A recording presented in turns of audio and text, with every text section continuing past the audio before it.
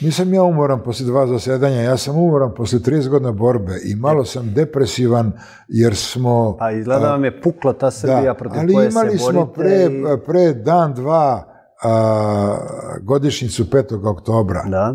Znate, vidite dokoliko, sad ću opet citirati pokojnog velikog Boru Pekića. Dakle, nama su 22 godine stvarno prožderale te, te, te, te životinje, ti insekti, ti skakavci. U šta smo mi potrošili dve decenije života? U to da oni koje smo e, smenjivali 5. oktobra danas ponovo jašu, ponovo budu u sedlu i da jedan od tih protiv koji smo demonstrirali i koji je tada u jednom a, televizijskom nastupu rekao da naravno da ih polivamo hladnom vodom, ne mislite valjda da ćemo ih polivati toplom vodom, razumete, sad kaže da je Srbija bez obzira na sve okolnosti uspela da se oporavi od 5. oktobra. I sad otuda i ta mala količina depresije, nemojte valjda misliti, mislite li da će mene umoriti ili pobediti osobe koje ste vi Ne, ne, ne, ne, e, još pominjali? gore, Mislite li da su oni dorasli nekoj polemici sa mnom, misli, sa mnom, mislite li, ali ta vrsta, a kako da objasnim, nekog zamora materijala, pre svega emocionalnog materijala je prisutna. Još je gore, pred vama su i ljudi protiv kojih ste se borili 5. oktobra, ali paradoks istorije je još veći. Sa vama su ljudi, pored vas su ljudi sa kojima ste se borili tokom 5. oktobra. Dakle, taj Bakarec je bio na ovoj strani, Jeste. taj D.J. Vučićević je bio na ovoj strani, Tako a sada se vi ne samo borite protiv onih koji su 5. oktobra bili na onoj strani barikade, nego i na vašoj strani barikade. Ja se borim da sačuvam vlastiti pogled na svet i da sačuvam, a, dakle, pravo da se pogledamo u ogledalo. A to, ko je bio na mojoj strani, a danas nije, ko je danas prešao na tamnu stranu, oni nek se bave time.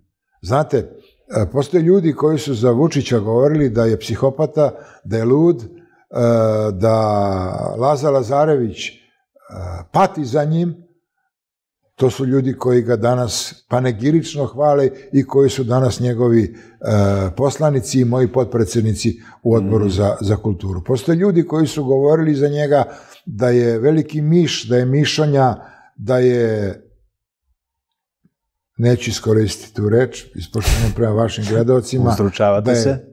plačevan jako, jel da? Da je zavrbovan, da je agent MI6-a, da je, da je e, špijun. Eno, danas sede u odboru za kulturu. Postoje ljudi koji su govorili za njega još gore stvari, danas su njegovi poslanici, predsednici njegovih poslaničkih grupa. To samo govori o njegovom političkom talentu. Taj ko se na njega bacao izmetom, pa onda se sagao da ga poljubi u opanak i da mu odveže učkur, uh, će biti dobar sluga. Ili o kvalitetu sluga. tih ljudi, ne I samo o eto njegovom političkom tog talentu. sistema vrednosti koji se moderno zove catch all, a koji se inače u kraju u kome sam ja odrastao zove bestiđe i to su bestidnici, to su ljudi koji nemaju zakletvu, kojima ništa nije sveto, oni danas čine taj uh, dakle prvi je šalon Vučićeve odbrane uz medije i uz navijače. I sad ajmo i taksativno, poimenično, a i ne moramo, pogledajte ko su ti ljudi, ko su te žene, ko su te osobe koje su danas ministri, a koje su do juče bile protiv. Ko su predsednici kancelarija za, za Kosovo, ko su poslanici, ko su ministri, ko su elem.